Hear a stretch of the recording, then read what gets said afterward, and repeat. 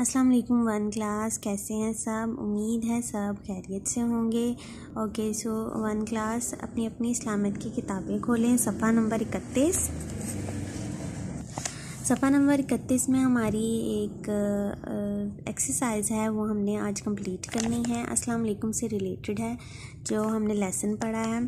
सवाल है हमारा, दुरुस्त लफ्ज़ में नीला रंग भरिए, यानी कि बच्चों, इधर जो दुरुस्त लफ्ज़ है जो हमारा आंसर है, उस पर हमने ब्लू कलर करना है, नीला रंग भरना है। ठीक है बच्चों तो फ़र्स्ट क्वेश्चन पे हम आते हैं। फ़र्स्ट क्वेश्चन हमारा, आप सल्लल्लाहु अलैहि वसल्लम ने फैलाने का हुक्म दिया। दुआ। सलाम।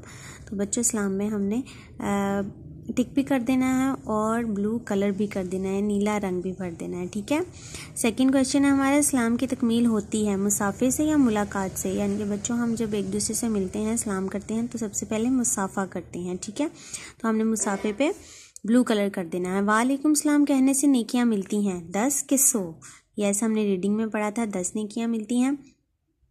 तो दस पे आपने नीला कलर कर देना है। लास्ट वन हमारा आपस में सलाम करने से बढ़ता है। ईमान या प्यार? प्यार को आपने ब्लू कलर कर देना है। ठीक है बच्चों? ये आपने आज की एक्टिविटी भी करनी है और याद भी करनी है ये क्वेश्चंस ठीक है? नीचे आए, सबक के हवाले से सोचें और लिखें कि अहमद और अली क्या कहकर सलाम कर रहे हैं। आपने बताना है अहमद और अली क्या कह रहे हैं। यानी कि पहले उसने, उन्होंने अस्सलाम वालेकुम कहा, बाद में वालेकुम सलाम। ठीक है? यानी कि पहले सलाम में अस्सलाम वालेकुम बोला और बाद में वालेकुम सलाम। ये आपने इधर राइट कर देने हैं दोनों में।